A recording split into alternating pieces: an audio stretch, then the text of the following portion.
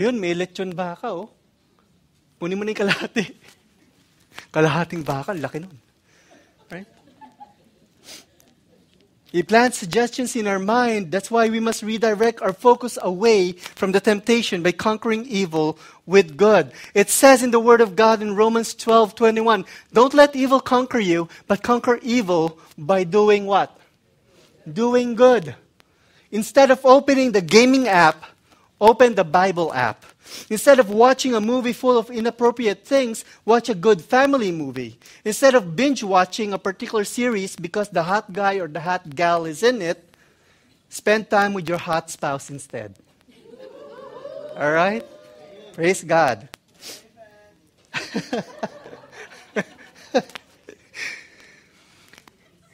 Earlier, Pastor said, Who has Facebook? Nobody raised their hands. That's unbelievable. Nobody raised their hands. Right? You see, social media, I wonder why you didn't raise your hands. Social media is good for information. Okay? It's good to keep you informed, not to keep chismis. Okay? But if you're on it more than you're with God, if you're on it more than with your spouse, if you're on it more than with your family, more than your, your church, then there's a problem. Brother here said he was looking at the statistics. Typically, an American father would spend 10 minutes with their children. That's it. It improved from two minutes in the 1970s. But that's how much time they spend. In the meantime, they can spend all afternoon on Sunday or whatever day watching football, playing golf, doing other things our priorities are not right.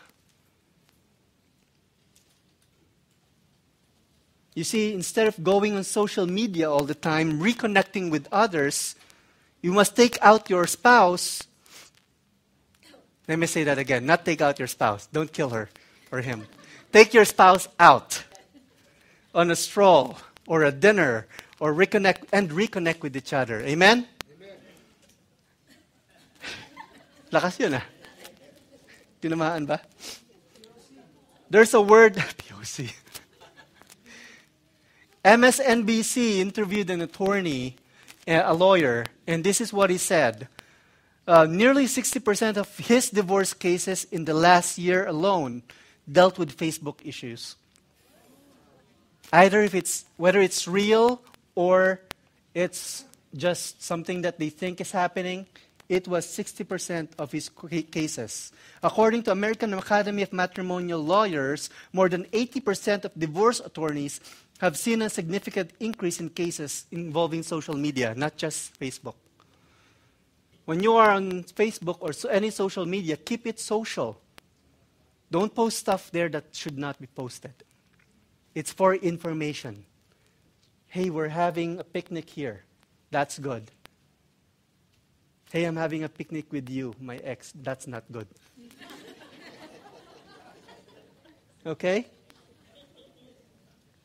We must fight for our family. Amen? As believers, instead of Facebook, get your face in His book. Instead of Snapchat, chat with God and you will snap up His presence. Instead of being on Vine, be attached to the one true Vine. Instead of YouTube, go on GodTube.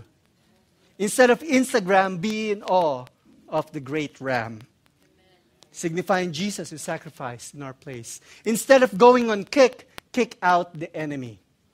And the old people are saying, ano yung sinabi ni pastor? the youth understands what I'm trying to say here. For couples, instead of funny mate, have fun with your mate. Instead of Twitter, be sweet to her. Yan. Instead of Pinterest, pine after your spouse and be interested. Amen? Hallelujah. Praise God. I'm the first one to delete my app. My wife's like, Amen.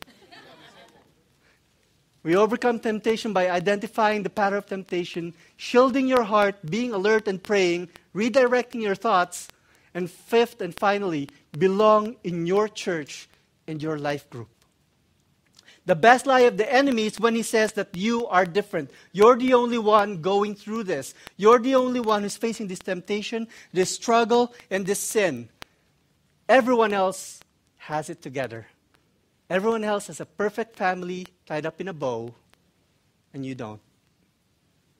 That's a lie of the enemy. Especially when you're in church. Like, oh, look at them, they're such a perfect couple. Look at them, they're such a perfect family. Like I said, no one here is perfect. But because of Jesus and what He has done with us, we learn to love each other more. We learn to have joy in even in our hardest circumstance. We learn to have peace even in the darkest hours. We learn to be how Jesus loves us. We develop the character of Christ. Do not get on the wheel of guilt or the cycle of guilt. You fail because you, you yielded to your temptation. Then you feel the guilt, and now the enemy is on you, condemning you. And because you are being condemned, you continue to fail. And you continue to have guilt. And the condemn- condemnation piles on and on and on. Get off of that wheel. You are not a hamster. All right? It seems as though you can never get anything right, and everyone in, else in church or in life can, in the life group can do it, but I can't. Don't believe that lie. It says in the Word of God in Ecclesiastes chapter 4, verses 9 to 10, two people are better off than one, for what they can help each other what? Succeed. If one person falls, the other can reach out and help. But someone who falls alone is in real what? Trouble you're in trouble. If you keep the church at bay, if you keep the life group at bay, if you keep those who try to pray over you, who try to mentor you, who try to love on you away, you will fall into trouble. It's not if we will be tempted, it's when we get tempted. It's a surety.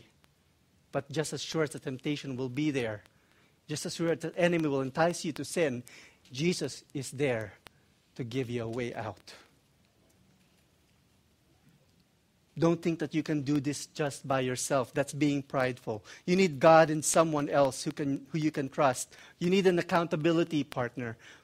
Here we are developing the ideas, the big ideas, where we have mentorship, we have partnership, we have accountability. As we continue to develop that, all of you will have a part in it all of you would be under someone or with someone helping you grow. Just like what my brother said here. He loves Oasis because we share the love of God. Because we're here for each other. We're not just a church, we're a family. In James chapter 5, verse 16 says, Confess your sins to each other, pray for each other so that you may be healed. The earnest prayer of a righteous person has great power and produces wonderful results. There is healing in the truth. If you're thinking you're the only one going through that particular situation, if you think you're the only one going through that particular temptation, don't. Someone here has gone through it like you, and they succeeded so that His name will be glorified, so that He can guide you or she can guide you through that same situation that you're in right now. That's why they have light boys, lighthouses. When you're, if you're a ship going through the, a dense fog, there's uncertainty. Going through trouble, there's uncertainty. Going through the darkness, there's uncertainty. But that light, that lighthouse, is Jesus shining through each and every one of you helping you to get to where you need to be safely and securely. Confessing your sin is not saying that you have failed, but admitting that you need God. Amen. You may be struggling with something in your life and you want out, you just don't know how. Confess it to God, seek help from your fellow believer, and apply the five strategies that we talked about today from sharing each other's burden and pain and trials, it keeps you moving forward and mature in your faith. Yes, you may stumble and fall, but God will say, Good job, my faithful servant. You will succeed. You will get through with the help of your brothers and sisters in Christ. But first, you have to get on the cycle of restoration.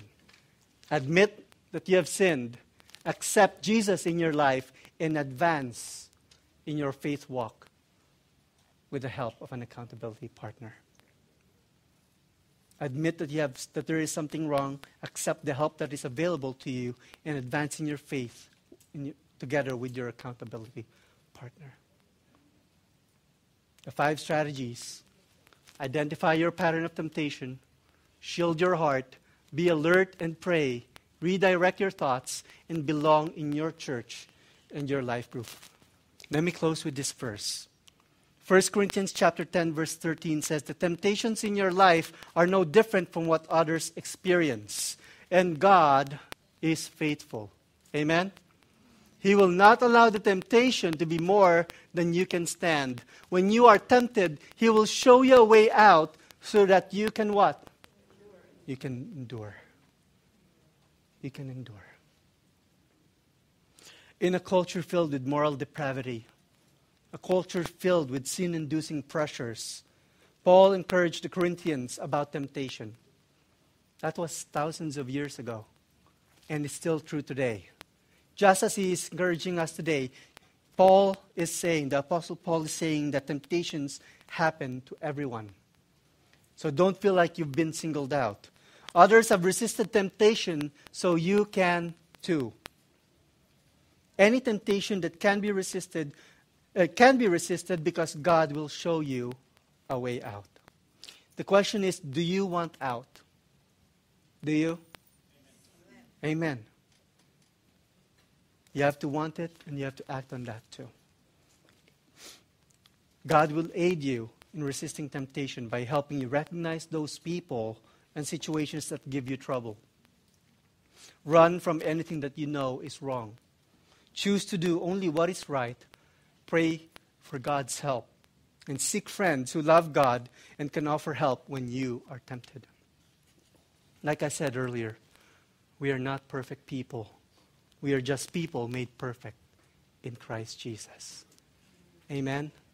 Amen. Let's give glory to God. As the worship team comes, um, instrumentalists, let's all stand. If you are listening online, Thank you so much for being with us today.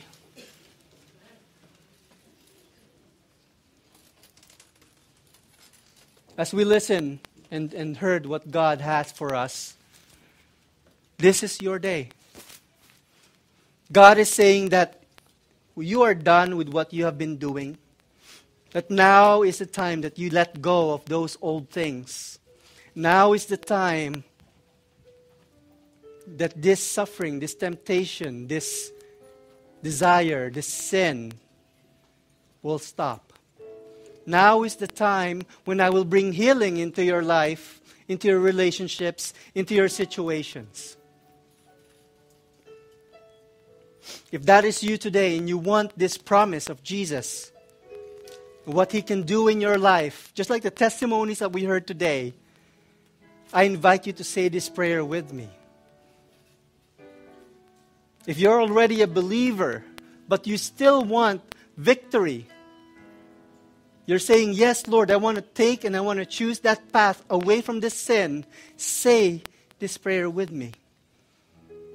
All together here in this room, and even those who are listening, say, Jesus, Jesus. I repent of my sin. I know I, have, I am wrong. And I thank you for dying on the cross for taking of my sin on it and restoring me into the fullness of God's glory. From this day forward, I accept and declare that Jesus is my Lord and Savior, that He lives in my heart, and I am His child from now on. I, I receive this in the mighty name of Jesus. Amen and amen. Praise God. Hallelujah. Let's give glory to God.